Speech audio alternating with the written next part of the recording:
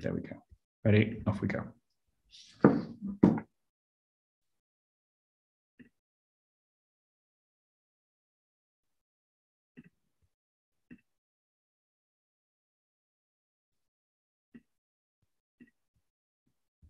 Okay, I want to say good afternoon to everyone. Uh, we will give it a little while because I know sometimes Zoom takes a while for attendees to drop in. We've got over 70 people who have uh, signed up through Zoom and then people who are watching us on Facebook and YouTube as well because we're going live there. Uh, why people are dropping in, I do want to just introduce Professor Lisa Wallace from the School of Medicine and uh, Bethany as well. I met both Professor Wallace and Bethany when I was at the university just a few months ago as well at that amazing beachside campus. Uh, where I had a, a, great time to see the facilities, and, to, and I uh, should be back there next month, I believe, with one of my colleagues from another university, which is another meeting we've arranged anyway. So it's a fantastic opportunity uh, here, and what I, I think what uh, Professor Wallace will discuss with the people who are signing up uh, uh, watching today is the different opportunities that are available with all the different pathways. Because although a lot of people identify the pathway into medicine itself from the, the bachelor's degrees, the bachelor's degrees themselves, as I found when I was there, provide a lot of opportunities into employment uh, and for other career opportunities, which gives you that breadth of experience that you may want if you're thinking about a future in medicine or the health or the medical sciences. Okay, so uh, people are, I said, the, the, numbers are going up. I'll keep an eye on the uh, on the social media. What I will say to people who are signed up today is we do have A feature active. So if at any point in the presentation, which Professor Wallace will, will deliver, is if you have a question, pop it into the Q&A feature and we'll deal with all questions at the end of the webinar. We will read the questions out because not everyone gets the chance to see them and then we'll deal with them one by one. What we won't do is obviously de-anonymize the questions. So don't worry if you if, if you're asking a question you think it's a silly question. My argument is there's no such thing as a silly or a stupid question because if you've got that question, I can guarantee multiple other people watching or not watching today or watching afterwards will have the same question as well. So please just go in there, but we won't obviously divulge your name. This is being recorded, so it will be visible for people to watch later on in case you couldn't make it. Uh, so it's really any questions that you have is really useful for anyone watching this live or watching a recording. Okay, so Professor Wallace, I do believe you have a presentation to deliver. I sure do. Bear with me real quick here while I get rid of something here. Um, all right, here we go. Let's go share screen. Okay, can we see that? A blue screen? Certainly can. So okay, great. well, now it's not blue, but thank you so much for the introduction. Um, my name is Professor Lisa Wallace. I'm the Associate Dean International for the Faculty of Medicine, Health, and Life Science at Swansea University. Um, and I'm joining you with Bethany Sawyer, our, our International Recruitment Officer. So um, thank you so much for inviting me. I look forward to telling you about our opportunities. So what I'm going to do today is tell you a little bit about our faculty, the medical science pathways, our typical entry requirements, some scholarship and funding opportunities, as well as our student support and student services. And then we'll, as was mentioned, we'll have some questions and answers. So a little bit about Swansea, you can you can probably tell, maybe tell from my accent that I'm probably not from Swansea, but um, so uh, I've come from the United States, but I've lived in Swansea for almost 13 years now. And I find it to be a beautiful part of the world that has outstanding natural beauty, but is, is not very far from, from where the action is from, from cities and, and has quite a vibrant uh, city in and of itself. So we're in Southwest Wales, which is part of the United Kingdom. We're the second largest city in Wales. Uh, we have two, not just one, but two seafront campuses um, so right on the beach. Um, and we're on the edge of the Gower Peninsula, which is an area of outstanding natural beauty, beaches, hillsides, lots of opportunities to get out and relax. So um, we're not far from London, just less than three hours uh, by train, um, four hours from Manchester, and about an hour from Cardiff. So lots of things happening here or close by. So, a little bit about the city. Um, it's welcoming, friendly, tr- trustworthy. It's quite safe as well. It's the sixth safest city according, according to the Complete University Guide. Um, it's affordable and um, a lot of really good uh, development projects are happening here. We have a new arena, uh, entertainment arena that's attracting lots of big name talent to come um, to the city and perform. We have um, Swansea City Football Club. Um, we have the Ospreys rugby team. We have lots and lots of, of wonderful things happening. And then there's, there's lots of investment happening in the city. So, um, like I said, it's it's right by the sea. We're located on the bay, um, but we're not far from the mountains. So lots of things to do. Very walkable, um, friendly place um, that very much welcomes students um, and and in an international way as well. So um, we have quite a substantial international community here. lots of different foods and markets and things like that. So even though we're small and smallish and friendly, there's lots lots to do and see. Um, like I said, it's a pretty affordable city, um, which it, which I know is is really important for students, especially right now with the economy the way it is. Um, so we're 100 years old, just over 100 years old now as an institution.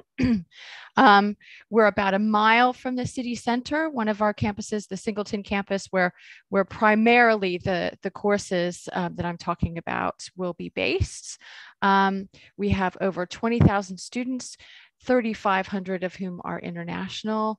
Um, we have over 3,000 staff, and we have staff and students from over 150, 130 countries. So very, very diverse from all different parts of the world um, have come here to, to engage in learning and teaching at Swansea. Um, so we are outstanding teachers. Um, this is so TEF Gold means that we've been awarded by the government. Um, there's there's TEF Gold, Silver, and Bronze. TEF Gold being the highest. So this is a mark of our excellent um, teaching and learning. Um, and these scores are based upon student satisfaction, continuation rates, employment rates, and academic support. So academic support is something that we really really emphasize here at Swansea. Um, we want you to come here and, and study, but we want to help you along the way. Okay, so a little bit about the Singleton Park campus. That's where most of the courses that I'll be talking about today are based. Um, we have seven canteens and coffee shops, a bank, a supermarket, lots of different food outlets. We even have an Egypt Center Museum. Um, we have a large pool and sports facility, doctor, surgery, dentist. Um, there are dormitories located on campus uh, for accommodation, but there's lots and lots of student accommodation off campus as well. Lots of students will come for their first year and, and have on campus housing, but then move off campus. Afterwards, we have a library, teaching facilities, etc. So lots of things on Singleton, and it's located in the middle of a park. So not only is there a beach across the road, there's a big park with lots of, of nature and beauty and beautiful plants um, right uh, situated right on the campus. So a little bit about student life. There's all kinds of societies you can join, um, 120 different student societies from cooking to Harry Potter to all kinds of things. Um, it's it's a pretty relaxed campus so quiet but but then we have a nice students union for for events and and socializing. We also have a student volunteer center. Um, i know a lot of our students on these programs are very focused upon volunteer opportunities especially if you're interested in going into medicine and we have a whole center that links you with those opportunities in the community um, and then there's also student ambassador opportunities and that's where our student ambassadors are exactly that they're really ambassadors that that work with the university to reach out to uh, potential students and families all over the world um, and and sort of advocate for us as a university so a little bit about the accommodation. Um, we have accommodation both on the Singleton campus and newer accommodation on the Bay campus. We also have a student village, which is off campus. Um, it runs anywhere from about 91 pounds to 195 pounds per week. Um, and uh, there's designated, there's also off campus housing that we work with the community around. There's everything from, from studios to en suites to, to premium suites. And, and we, of course, have all sorts of uh, Uh, accessible accommodation for those with, with differing abilities. So lots of different accommodation all over, both at the Bay campus, off campus, as well as Singleton campus. So a little bit uh, about the Faculty of Medicine, Health, and Life Science. We, we're composed of three different schools. So the faculty system is something new at Swansea University. We used to be about seven or eight, depending on how you counted things, different schools. But what we've done is we've kept those schools, but we've coalesced them into faculties. So our faculty is really around medicine, health, and, and people. So we are uh, include the School of Medicine, the, the school that I'm primarily located in, School of Medicine, the School of Health and Social Care, as well as the School of Psychology. And this has really given us an advantage for both our students and our staff in that we're much better connected up now. So, so where we might have been different before and had some parallel activities, but, but not really interacting in terms of teaching or research, we've got bigger bridges between those colleges. And I, as the Associate Dean International for that faculty, have oversight over all of those programs and all the international activity in those three schools. Um, lots of our courses are accredited by what we call professional bodies. So they are the regulatory bodies in the UK that sort of govern those professions. So, for instance, for medicine, there's the General Medical Council. For pharmacies, there's the General Pharmaceutical Council. There's also the Nursing and Midwifery Council. So, not on, only do we work with academics, we work very closely uh, with with academics in our own schools, but we work very closely with those regulatory bodies. We also work very closely with the local health boards. So the people who are actually delivering that care, we're very connected into as well. So, so not only do we engage in these activities as an academic exercise, we also um, engage with the wider community in actually delivering those services. So uh, lots of rankings are involved with with higher education and there's new rankings every year and things go up and down um, so uh, i think i'd like to say the most important thing whether you choose swansea or not is that you choose a place that you feel comfortable studying and you can see yourself spending at least the next three years perhaps more staying there and and uh, engaging with the community and engaging with your studies. That said, um, rankings are important you know they they do f- factor into perhaps how potential employers view your application later. Um, so so of course it's important to think about rankings but uh, it's more about where you feel comfortable. That said, I'm very happy to say that Swansea is extremely highly ranked as well. So, so we're friendly, but we're highly ranked. We're number one for medicine according to the Complete University Guide. Um, we are number four in the UK for the research exercise framework. So we, and that's out of of I think about 40 different medical schools. So so we're a smaller place, we're a friendly place, but uh, we're also having quite an impact through um, our our innovative research and teaching and learning that occurs around that. So this slide just kind of gives you a flavor for some of our university. We're, we're, we have a local feel, but we definitely punch above our weight in terms of um, our, our rankings and research quality and, and teaching environment.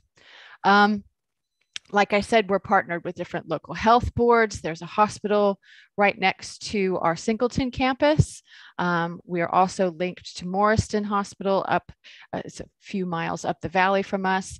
Um, we have lots of facilities on campus. We even have um, what we call the Institute for Life Science, which is a companies located right within our university buildings, many of which are spun out from some of our academic research. So our researchers have come up with an innovative idea that they've then brought to market, and those offices are housed right with us in the medical medical school. And and often our students will become engaged with those commercial activities through research projects or summer placements. So we're very well connected up that way so, what kind of research do we focus on? Well, we have lots of different areas of research, but we have sort of four core areas that a lot of things, uh, sort of a lot of our activities emanate from. So, we have biomarkers and genes. Um, so we look at genetic aspects of disease and therapeutics. Uh, we also have medical devices we have microbes and immunity, as well as patient population health and informatics. That last one's primarily around data. So looking at medical data for people. So, so lots of research can happen in the laboratory, you know, looking at different organisms or cells or, or pathways, but lots of uh, um, the way research now moves in medicine is analyzing data and health records and things like that. So we're one of the UK's foremost centers for for that health data, and we are we are we house all the medical information in Wales. Um, so that allows us to uh, really dig deeply into that. Um, that information. In fact, we played a key role um, in the government's response to COVID because we did have that information available, and members of our academic staff were part of the government's scientific advisory group because we hold that data here. So lots of important research happening.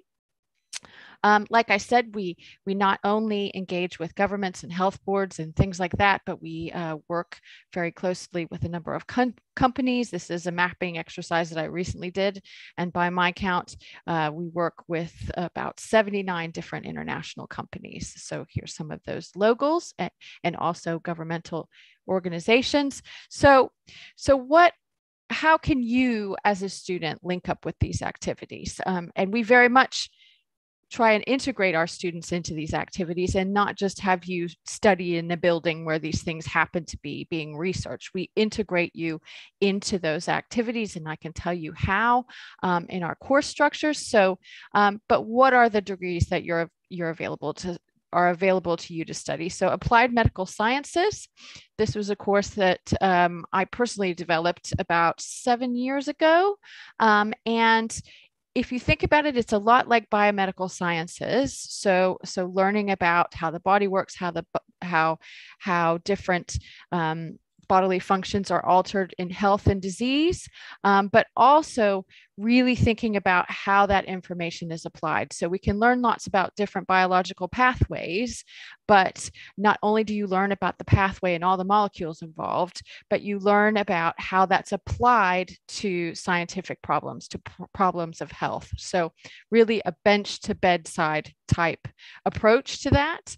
We also have um, very well established biochemistry programs, genetics programs. Those they're pretty much as they say, you know, outstanding uh, programs that have been well established in both of those areas.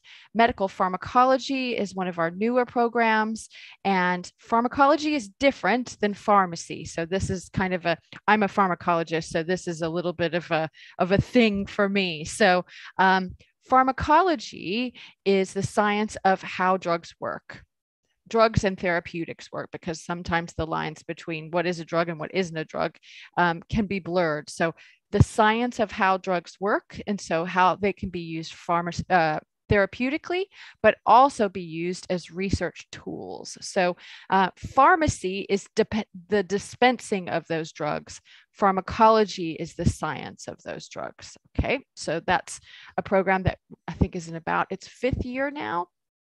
Um, and then we have population health and medical sciences, which is a course that learns many of the scientific elements of the other courses, but also has uh, a, a, a data focus. So I was speaking about that big database we have of all that medical information.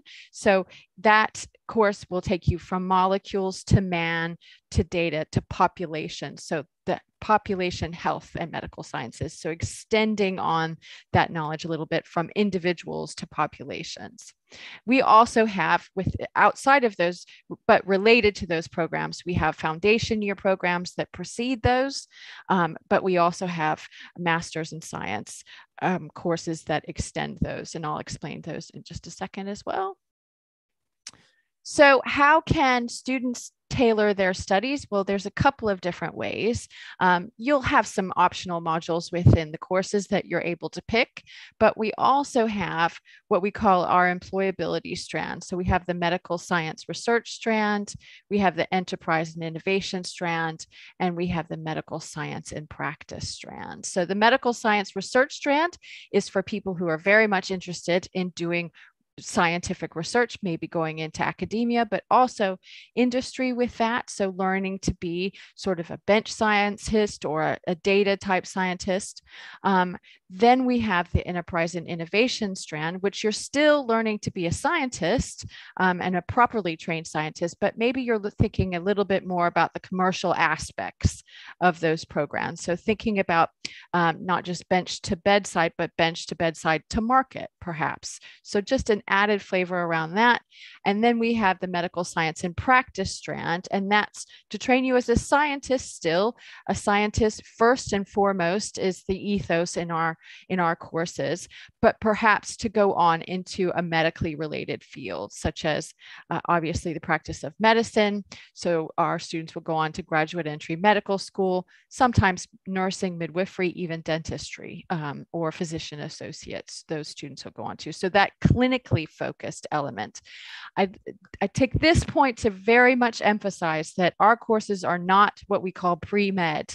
So if you've if you've seen some other courses maybe around the UK um, that are kind of like a precedent to medical school. And you know that, that that's great but but what we find is um, a lot of students a will uh, perhaps not have an idea of the of the breadth of of careers that are associated with medicine but aren't necessarily clinically oriented. So i thought i wanted to be a doctor when i started out in science but i didn't realize that i could still do the science of medicine without uh, patient interaction. So um, and then so so some students will be absolutely convinced that they want to go into medicine but then they'll realize that there's lots of opportunities outside of that. Also some students just won't get into medicine. And so it's also important to train you as a scientist first and foremost so that you're able to do something with your undergraduate degree without getting into medicine so um, that pathway has an extra little criterion around it in that you have to achieve at least a 60% average in your first year to go onto that pathway. And that's not to say that the other pathways aren't as challenging or, or aren't as important or prestigious. It's just that we need to make sure that you're on the right track to get at least a 2-1 type degree so that you can be admitted. A 2 1 is required for entry into graduate entry medicine. So we want to make sure that you're on the right track and that we're sending our very best students on that pathway. So, uh, so a little bit about um, that pathway, a little bit more um, around that pathway to medicine. So, um, what that means is you, you've gotten that 60% in your first year, which means that that's a 60% overall average. It's not 60% in every module. Um, what that means is, and then your second year, you'll take a module called Doctors, Patients, and the Goals of Medicine. And that's exactly that. So you learn about the doctors, patient relationship and the goals of medicine, which can be quite varied according to the situation clinically. So, um, and within that, you'll have uh, a clinical observation where you get to um, observe the patient, uh, doctor patient relationships, and you have to do some reflective work around that and really dig deep into what it means to be, to be a doctor and how the National Health Service works um, and things like that. So, within that pathway, you have to then, so you take that module, you have to then get a 60% uh, mark in that particular module Okay. Um, and in reality, you need to be still achieving that 60% average overall. Um, you meet some other minimum entry criteria that you can find on our website. You have to get a minimum GAMSAT score, etc. And then what you get is a guaranteed interview with us for uh, graduate entry medicine here at Swansea. So that means that if you do um, and and that that interview is really the step to medicine so if you do very well at that uh, interview you you can get offered a place on medicine but it's a guaranteed interview. It's not a guaranteed spot and we don't have a maximum minimum uh, number of spots available to our students. So if the whole course got into medicine that's great. Um, you know so there's not that sort of competition with each other but there's also not a fixed number of ring fence spots. So so please have a look if you're interested in the pathway. Have a look at our website and that can tell you a little bit more detail around that but that's sort of it in a nutshell. So getting the magic number in all of that is 60% so 60% in year one 60% in that module. And then um, you need to have GAMSAT uh, um, exam or or MCAT, or then then then you'll get a um, guaranteed interview, and then and then hopefully you get an offer for medicine. So um, a little bit about our medicine program. We are graduate entry only. So I think we're one of two graduate entry only courses in the UK.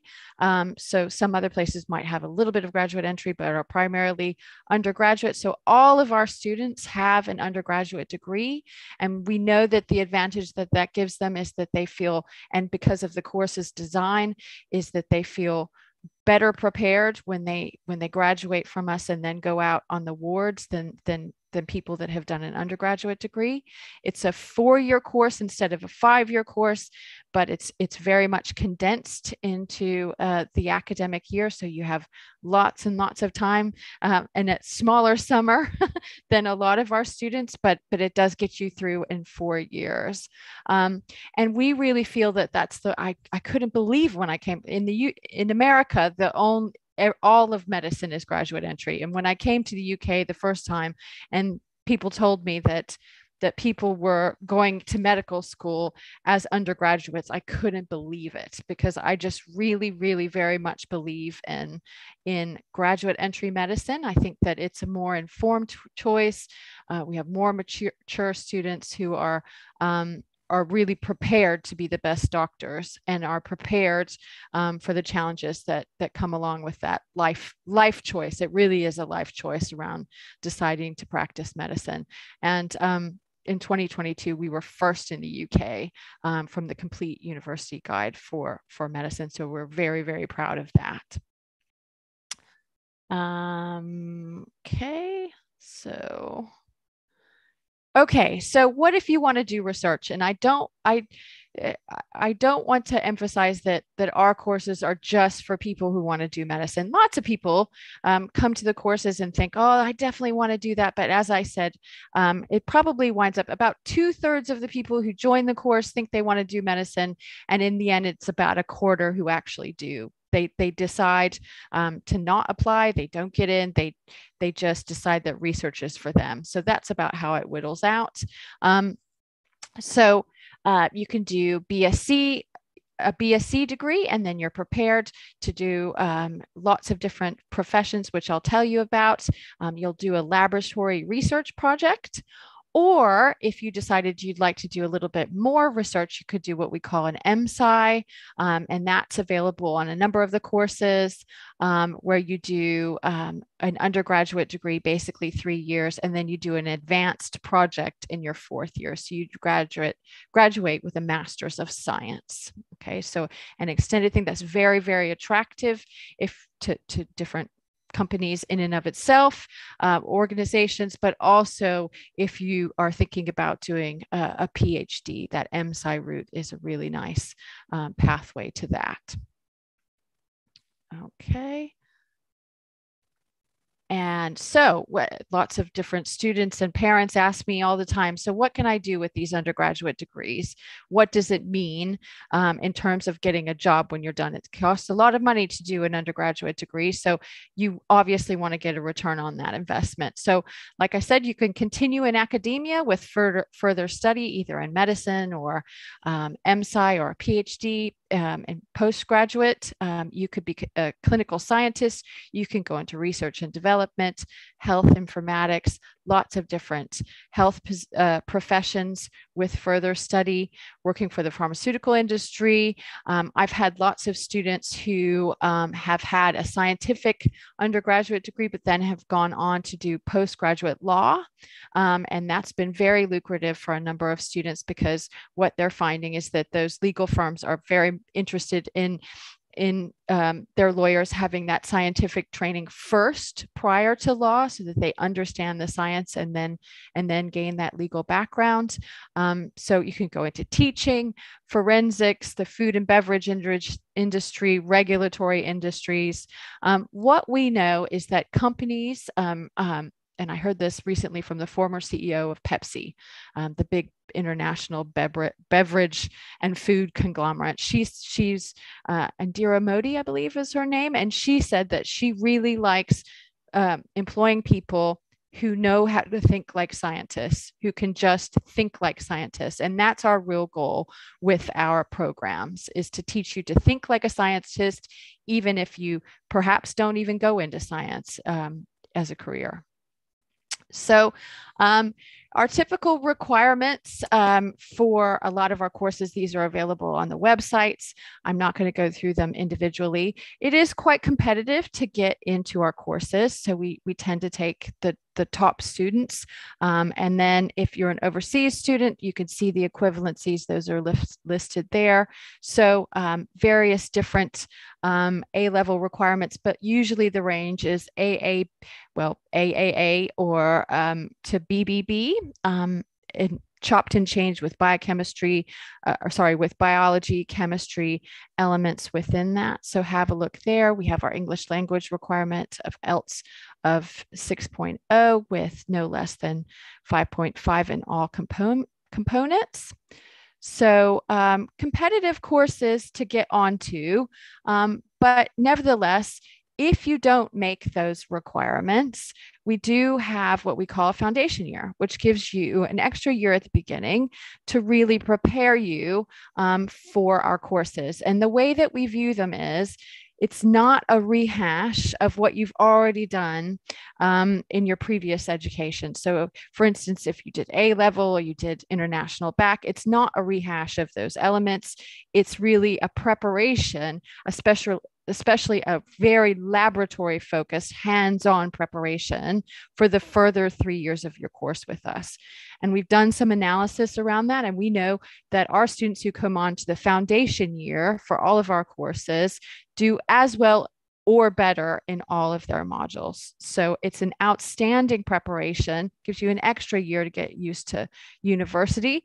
Um, and we have had many of our students last year get into medicine with that or go on to PhD. So that's an outstanding pathway. If you felt like I don't have the marks, I'll never be able to be a clinician or get a PhD, this is really a lovely um, step up. I was a, not a very good student, and I'm a professor. Early on in my career, it really took me getting onto um, a subject that I was very passionate about. So I want to give um, students that same opportunity to have a little step up to to get them into a, an excellent program that can lead them to their um, fulfill their their aspirations. So still same pathway to medicine. Everything applies from that. Now, the key with that foundation year is remember, I said for the pathway to medicine, the 60% is key. 60% again is key for the foundation year. To progress from foundation year to the rest of the three years of the course, you have to achieve at least a 60% average. If you don't, it's just an average across that. Um, you can do some resits um, in, in particular areas depending on the modules, um, but there's also an exit qualification. You could go and do another course, but we do say that you have to get 60% um, in that first year to progress onto the other three years. Um, and that's roughly um, around the, the, the requirements for what we're looking at for a typical offer for that foundation year. Um, we have scholarships available for, for excellent students um, according to your, your um, qualifications. So please do have a look at that. Um, if you've done outstandingly well, we like to um, encourage those students to come study with us with some financial bursaries um, and then just have a look at those, those deadlines around that. And if you have any questions, I'm sure that Bethany um, and, and uh, her colleagues can, can help with that. So um, and then we also have an English language service um, in terms of, of maybe doing some upskilling in, in that um, language activity. Um, science is a universal language, so, so really um, working within science is uh, can be a real a really good tool in learning to communicate uh, around the world, um, not just in science as well. So that's really good. Um, and like I said, we we we're an outstanding university that does very impactful, world renowned research, but we very much care about our students. We want to get to know you. Um, every student will have an academic mentor. So that is someone that you would meet with, an, an academic. Um, you meet with them at least once a term.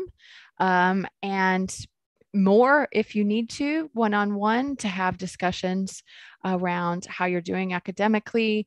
Um, that person can also signpost you to support within the university for a variety of things mental health support, financial support. They're really that sort of key um, to help you um, with your studies and help ensure your success with us. We also have disability support equality and diversity champions. We have an outstanding international office that's specifically geared towards supporting our international students. Um, we have counseling, we have an employability academy, um, which will help you think about careers after your graduation.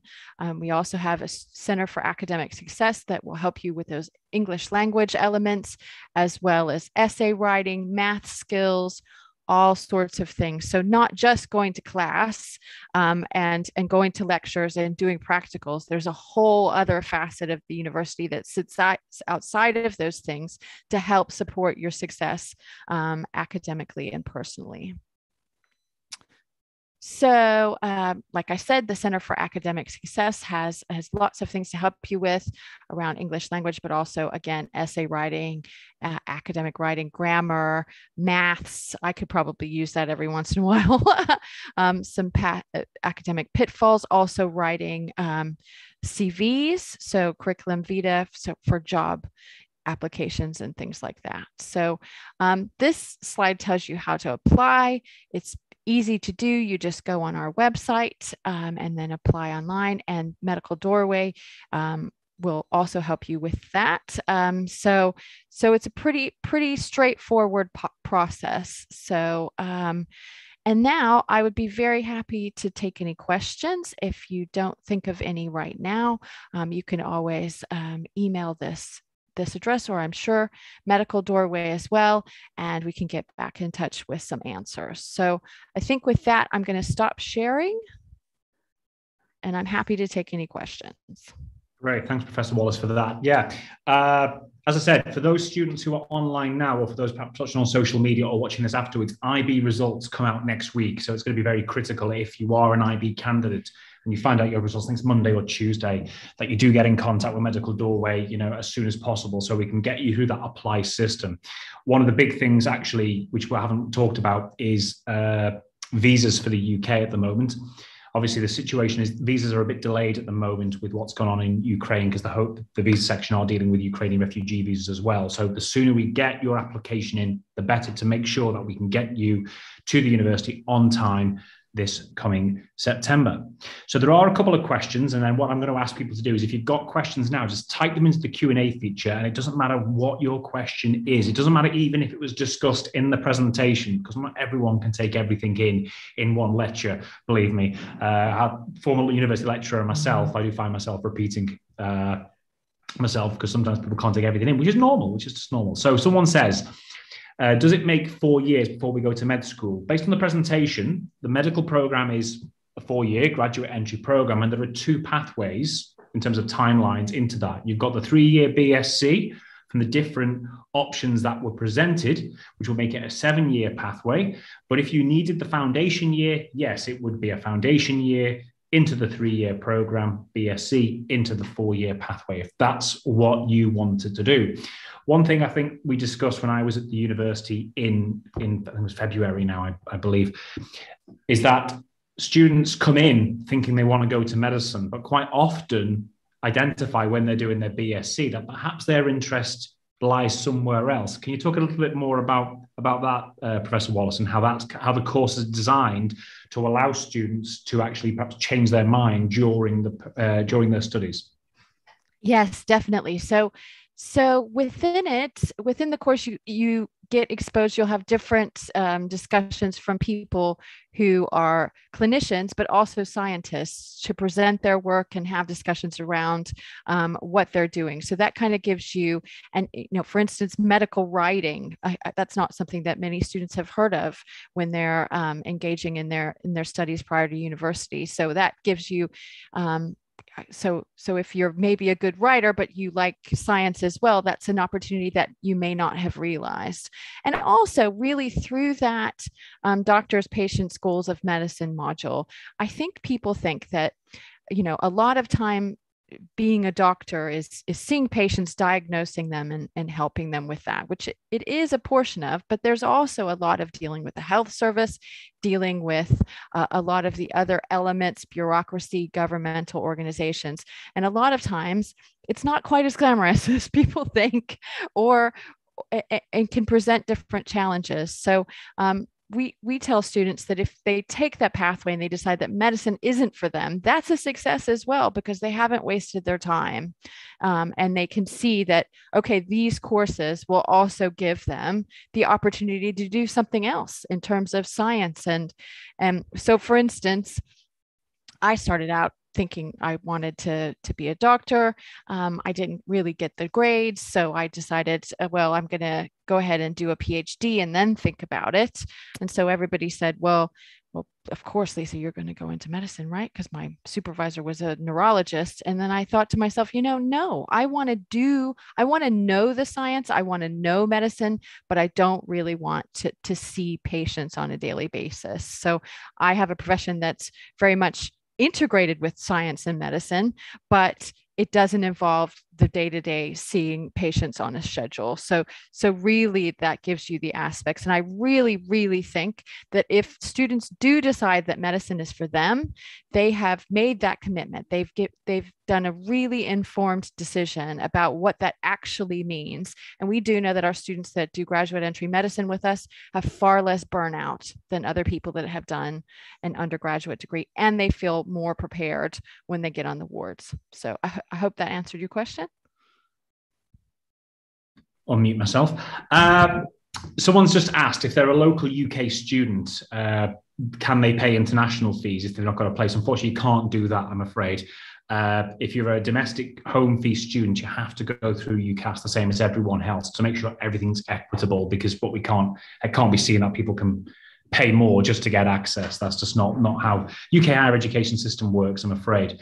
So you'd have to go through UCAS, or if you wanted to go through the foundation pathway, if based on on your eventual A levels, uh, that was there were still seats available for you, then in clearing, then that is obviously something which you'd have to look at with the university. That's not something I can help with because we're only allowed to work with international students with with Swansea. Uh, but I, if I, don't, I don't mind if you know UK students want to use this presentation because it's a fantastic presentation open to all. Someone's asked. Uh, is the foundation program, and this is not a question I've got an answer to, so I'm going to delegate this one to uh, Professor Wallace and to Bethany, but is the foundation program open to mature students from a non-science background? Because there are different foundation programs in different program, uh, universities that are perhaps not focused much on the grades or lower grades on the sciences, but are more focused on perhaps people who have not studied STEM subjects at, say, you know, uh, level three. So I would encourage. So yes, we we absolutely love mature students. We love them coming on the courses. Some of our our top students have been mature students who have raised families and then decided to go to university. Um, now I would I would emphasize you. I would ask you to get in touch with. Um, someone from admissions around the background with that because we do want you to have some scientific background in STEM um, because it's not really that foundation year isn't a replacement for for science. Um, those elements, it's sort of an enhancement around that. So the answer is yes and no. So so really get in touch around admissions and i'm sure medical doorway can help you with that as well. So in thinking about um, maybe you wouldn't have all of it maybe you wouldn't have biology and chemistry um, and there's then there's different elements within for instance the international bacc that we take that are maybe not as strong as someone who who has those core elements um, so but in that foundation year can enhance. So the so i would encourage it's sort of a case by case thing but we we absolutely love um, mature students. And then someone has asked if i did not choose swansea in ucas can i apply well if you're applying for the undergraduate program you're not applying straight to medicine you're applying to one of the pathway programs. As if i did not apply to swansea in ucas can i apply for the programs in clearing if i get very good grades that's going to be dependent on how many seats are still available. And the way it works is the universities know a few days before how many places they'll have available, but they're only going to go into clearing on A level results day. So I think if you're in the UCAS system, if you applied through UCAS and you're released into clearing, then obviously you can then identify see if there are seats available through the clearing system at Swansea. If not, you can obviously contact the university yourself as well. Uh, their admissions officer will always be open uh, on clearing. Very busy if you look. If you you might struggle to get through initially, but be patient, and then the university admissions office will be able to give you advice uh, and guidance on that. Then it's something I used to deal with every year when I was working in in universities in my admissions capacity within uh, within a faculty. So we do have another question which has come up. Please explain for an IB student completing the IB diploma program in May 2023. So this is an international student for next year with good scores of six and seven. How strict would the admission process be? And how would you insist on the IELTS score? I think if you're taking the IB, the English on the IB based on a certain uh, curriculum is acceptable in lieu of IELTS. I believe I'm correct in stating. I believe so too. I would get in touch with our admissions, but I, I believe so as well. Yeah, we, we love IB students. We, we find that they're they're really they tend to do very well on our course. So yeah. yeah. Yeah, yeah. And it's what would happen is you would get if we applied earlier for these programs, if you're coming from the IB, my advice is we do apply early on the Medical Doorway website. If you then receive an offer, that will be conditional, and that will obviously stipulate a particular condition on your IB, overall points, and then points in the STEM subjects at the higher level as well, depending on which program we've applied to. On the whole, if you've got both biology and chemistry on the higher level, you can apply to any of the pathway options at the institution. Uh, then, if you meet the terms of that offer on 4th or 5th of July 2023, then obviously your offer is, is, is, is, is becomes unconditional automatically. Uh, then it is just a question if you do miss by one or two points or you miss by a small amount, the university will then be able to look at that, look at your personal statement, look at your references, not, not just look at the grade, look at the number, because as a student, you're not just an IB score. Mm-hmm. You come with an entire different set of qualitative data, which often can determine how successful you can be. And it's that then the university will then make an, an academic decision Sometimes they will, may have to wait until A level results have been issued. So you may have to wait a month and a bit just to check so they can look at everyone equally. But like I said, if you've met the terms of your offer, your offer becomes unconditional and you're then straight through to start uh, studying at Swansea in, in this case for you, September 2023. So it is, if you don't meet the terms, it is going to depend on how many seats are available and how far away you are, obviously. But uh, uh, can't give you a direct answer to that. But again, IELTS, just take a look at your uh, English language curriculum on the IB. Usually that's accepted, just as GCSE uh, assignments would be. And, and if I can, yeah, go ahead. If I could just add, sorry. So what we will try and do is if if we have room on the foundation year, we will try and, you know, say, say we can't offer you a spot on the three-year course, we will try and put you into the foundation year. Um, we can't guarantee that because a lot of students will have directly applied for that foundation year as well. So, um, but we do try and and and make that work if at all possible through that mechanism especially if you express to us you know if, if you're feeling like it's going to be on a border um, or something we can work with medical doorway we can speak to you directly and and if you make known to us that I, listen i really want to be on the course but i might be on the border let us know and we can we can work within that. So we're, we're reasonable people. It's not an an automatic yes no. I mean it is very much as as you said based upon what the pool looks like, you know, and, and that pool changes from each year. Um, this year is quite competitive. Um, mm. um, last year it was all over the place, so so it's it can move, and we want to make sure that we put students in a cohort that fix fits them. So um, if we do have to make a decision around putting you into the foundation year, please understand that we really do feel like that's to benefit you and and your teaching and learning. So um, yeah, we'll we'll try and make it work between the two. Thanks. Okay, we've got 10 minutes. We've scheduled about an hour. Well, we're scheduled over an hour, but usually it's about an hour. We just let it overrun. But we have got any more questions at the moment. I'm just going to check our social media. No, we've had a few thumbs up and a few comments, but no actual questions. So that's good. So what I would say is if anyone's got any more questions now, just do type them in because we want to make, make sure we do answer them in the in the in the last few minutes we've got. I think one one thing that uh, I came across was the links to industry that came across in the presentations there. Can you give me some examples of what some students have done on the three-year programs? Because I think that's something I think which is perhaps the very, I thought anyway, from my experience, and I've worked with many universities, is quite unique actually at Swansea.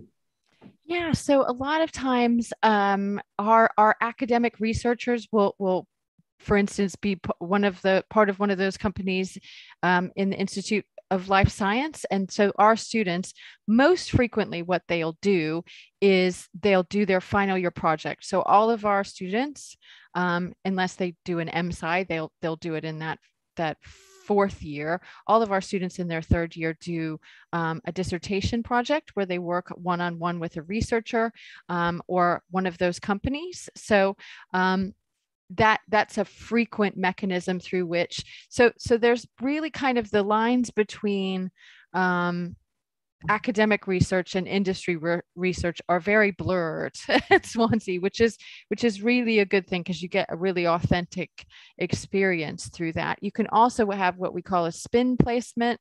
That's a summer placement with one of those companies where you go and work with them. We've had some students work on medical devices. We've had students go and work on developing apps that record medical data. Um, my own laboratory is uh, putting together. So I work on worms. I know not everyone rushed to volunteer, but we we have a, a model of, of a pharmacological model where we give worms drugs and so it's quite interesting to see because they it alters their behavior and you can tell what a an unknown substance is because we've created this whole big profile on how the worms behave on different substances so if we have an unknown substance we can give it to the worms and say well that looks like cocaine that looks like like alcohol or amphetamine or something like that. So, what we've done with that is we've marketed that to um, other institutions who want to teach that in vivo pharmacology. So, as a teaching tool, we're also working um, to, to develop a model for prisons for, for them to be able to say, okay, lots of substances are smuggled into prisons. We don't know what the substance is, so we can give it to these worms and see what it potentially is. Is it a substance like a stimulant or a suppressant or something like that? So developing um, resources large and small. And then some of our uh, our institution, our researchers work with big pharmaceutical companies like AstraZeneca, or or even one of our researchers, Dr. Kate Chapman, she worked with the cosmetic company Lush around different uh, substances within their cosmetics. So um, lots and lots of different things integrated there, and I think that really does. That's a really good point. That it does set us apart from a lot of um, other institutions that we have that. So those. Okay. I think we'll deal with the last question now, which is a quite sure. a basic one, which is good, but you know, it's an important one. Someone's asked about the fee structure. So do check the website because the fees do change slightly every year just because of inflation. Okay.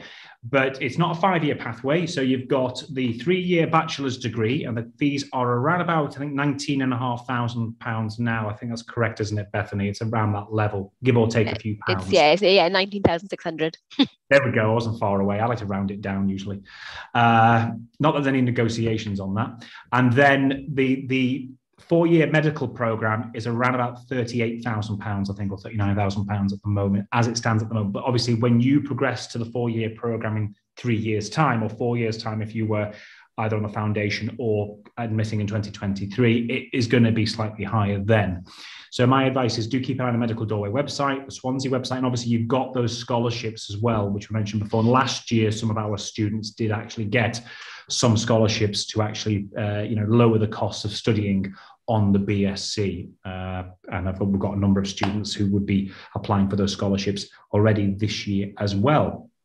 I mean, that's kind of brought an end to those questions. If anything else pops up in the next few uh, few minutes.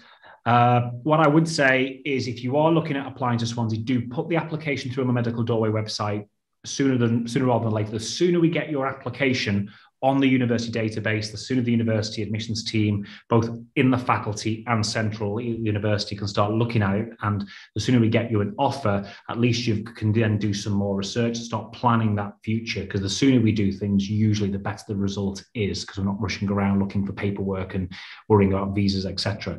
Medical Doorway is a British Council certified organisation. Uh, which is a requirement uh, for most universities to work uh, with organizations like ourselves. Our service is fully free of charge. Uh, you know, we have come across other agencies trying to kind of claim lots of money from students. This is why Swansea work with us, why we do these webinars to make sure you get the correct information and you know it's coming straight from the university and that you can trust the Medical Doorway team here. Uh, and we are going to be visiting schools across the world next year. Now that travel's opened up, so we are expecting to be in the Emirates at some point, and then fingers crossed in December in Hong Kong if all, all goes well, uh, depending on reopening. So hopefully we'll be in some of your schools to be able to meet you, your school counsellors, even your parents potentially as well, and discuss this and many other opportunities for your future. Okay, as there are no more questions, I want to say a huge thank you to Professor Wallace. I will see you again next month, I believe, in, in, in Swansea, and to Bethany as well, and Cecilia, who's not here today, but she coordinated all this to make it possible. So I do want to say, go on the record and say thank you to Cecilia as well.